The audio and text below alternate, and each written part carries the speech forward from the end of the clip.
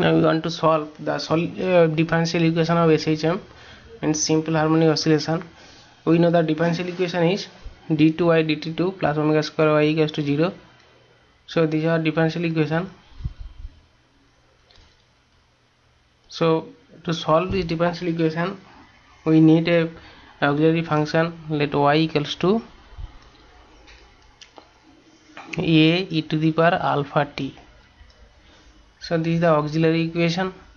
So first derivative dy dt equals to a alpha e to the power alpha t and d2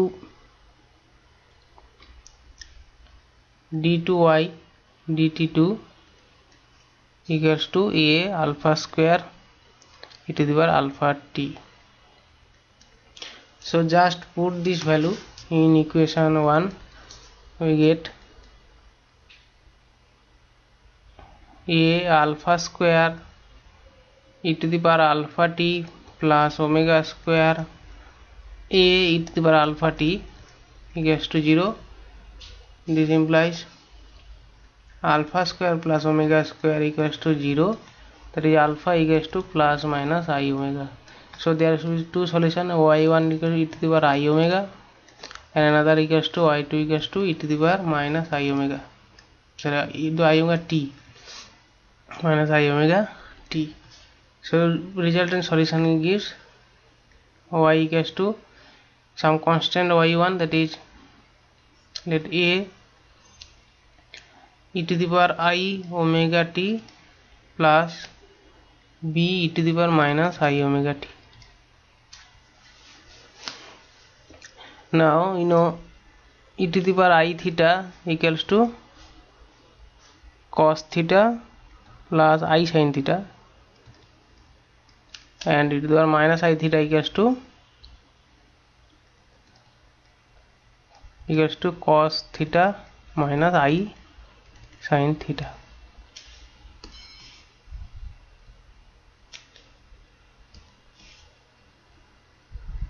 So just put this it, this is the i omega t so just y convert to a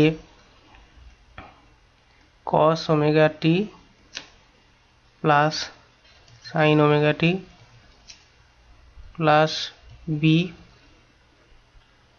b cos omega t minus sin omega t sin omega sorry sine omega T तो just OI equals to taking common cos omega T you get A plus B cos omega T plus B sorry plus A minus B sin omega t. Let a plus b equals to a1 and a minus b equals to a2 then y equals to a1 cos omega t plus a2 sin omega t. So this is the general solution of a differential equation. So it's a combination of cos omega and sin omega t so it has a physical significance. Let uh, a simple oscillation like a pendulum start oscillation from the extreme point means the maximum oscillation. So at time t y equal to maximum then then we get y max equals to at time t equals to 0 y max so cos 0 1 there is a 1 a1 and a2 gives 0 so a1 is y max and y equals to y max cos omega t. So when a pendulum oscillate from a extreme point then the remaining is y equals to y max cos omega t and when it comes to oscillate from zero position that is um, from the normal condition means vertical condition so 0 then y convert to like y max sine omega t so these, these are special condition and this y equals to a1 cos omega t plus a2 sin omega t is a general solution. It can be simplified also.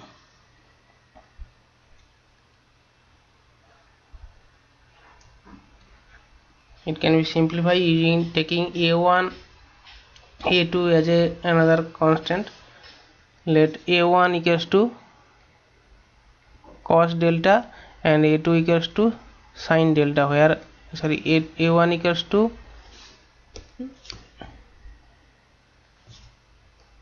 let a1 take a1 equals to a constant a cos delta and a2 equals to a sin delta so equation converts to a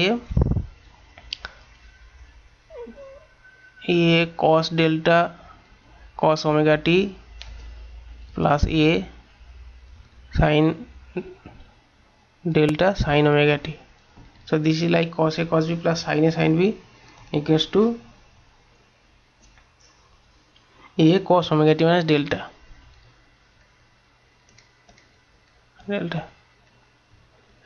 So this is a simplified solution also where a equals to root over a1 square plus a2 square and delta equals to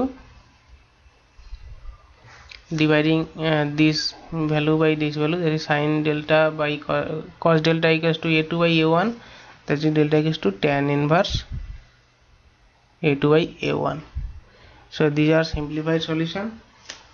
Means we can plot this solution with the displacement. Means if we plot the omega t t along this and this is displacement y then displacement is like cos curve that is first decreasing and in again increasing with the time period t.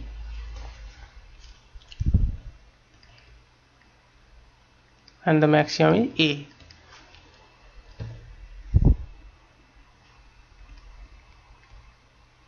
here delta indicates the phase difference or initial phase from where the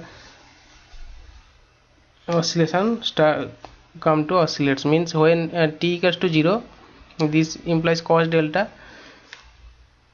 So if we take a oscillation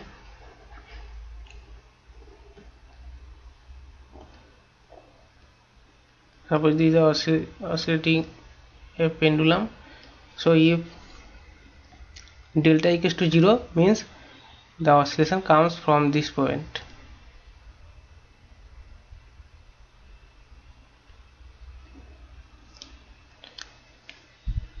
And uh, we know that y at t equals to 0 y equals to cos delta. So delta have a value